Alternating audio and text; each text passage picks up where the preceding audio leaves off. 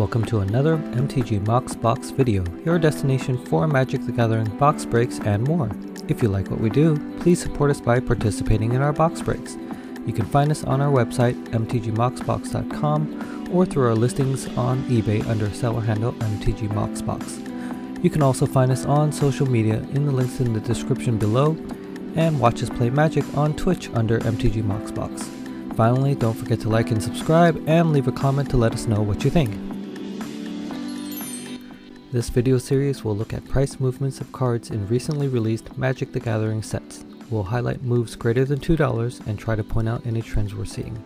You can use this information to see if you should wait on a particular card or pull the trigger before the price goes higher. As we continue to collect data each week, we'll include analysis across longer periods of time. First is Modern Horizons 2, which released June 18, 2021. We are now at 7 months since this set's release. I looked online and read that the first Modern Horizons set was in print for about a year, and if Modern Horizons 2 follows a similar schedule, we might see more movement in the middle of this year. At the time of making this video, at the end of January, we have one card reaching new lows and one reaching new highs, with everything else not moving significantly enough to include in the video. First, we have another fetch land reaching new lows this week. Verdant Catacombs is now 2084, dropping about $2 from a month ago. And the card reaching new highs this week is Urza's Saga, now at 4168, this card has been incredibly popular across formats, and due to its unique nature and abilities, it should continue to hold value. Finally, while Ragavan Nimble Pilfer has not moved much uh, price-wise across the past month, it is worth noting that it was announced earlier this week that it is now banned in the Legacy format. However, it is still legal in Modern, Vintage, and Commander, so it looks like the price will continue to hold for now, but this one is worth watching in the coming months. Next up is Dungeons & Dragons Adventures in the Forgotten Realms, which released July 23, 2021. It has now been about half a year since this set's release, and the set's value has stayed pretty static over the past month. One card that did move enough to be included in this video is Lolth Spider Queen. She is now at 1209, dropping 17.8% across the past month. Now I kind of want to make a Spider Tribal deck, but I think they really need to reprint Arachnogenesis first. Next up is Midnight Hunt, which released September 24th, 2021. We are now at just over 4 months since this set's release, and this week we also saw the release of Double Feature, which includes all the cards from Midnight Hunt, so we could see prices affected in the coming weeks. One card posting a decent drop both in the past week and across the past month is Poppet Stitcher, which transforms into Poppet Factory. It is now at 433, down 33% from last week and 37% from a month ago. Another card that also dropped across the past month is Wrenn and 7, now at 1523 after dropping over $2 from a month ago and there were no cards moving significantly enough higher to warrant inclusion in this video. Next up is Crimson Vow, which released November 19th, 2021. It has now been just over two months since the release of this set, and we are seeing many of the set's cards come down in price. The release of Double Feature could also have an impact on this set's prices in the coming weeks as well. There were several notable cards dropping in price, including these popular ones.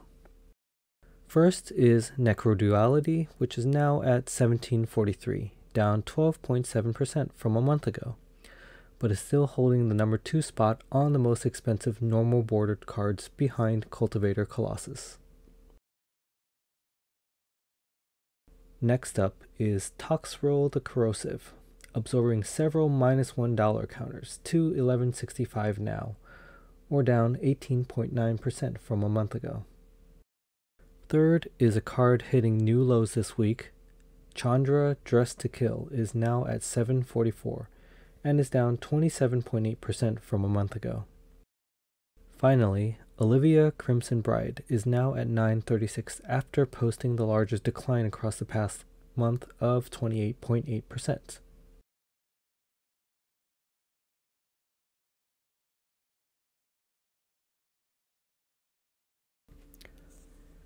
Here is a look at the latest values by set for the past two months.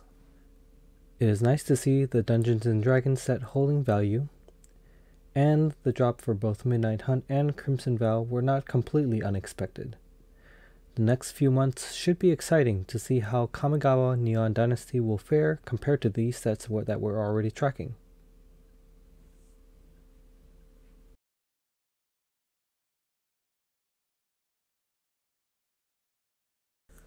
Since the next video will be the first one to include the Neon Dynasty set, for this video's question, share in the comments below any card that's been previewed so far that has piqued your interest and why. And that brings us to the end of this video. If you made it this far, thank you for watching, and please consider clicking like and subscribing to our channel. We'll continue tweaking this video series to keep it interesting and useful for viewers, so please leave a comment to let us know what you think. Thank you! Alright, before we get to the drawing, I want to quickly respond to last video's question.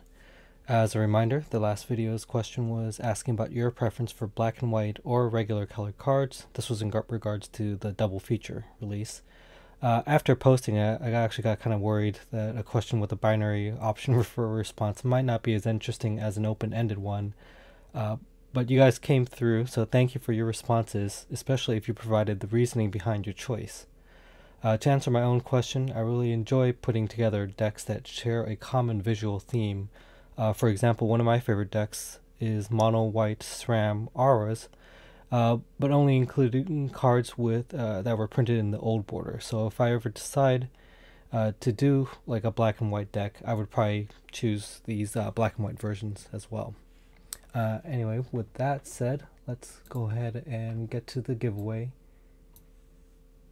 just need to copy the link. Okay.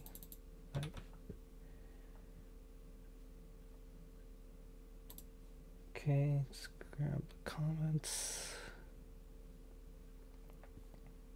and pick a winner.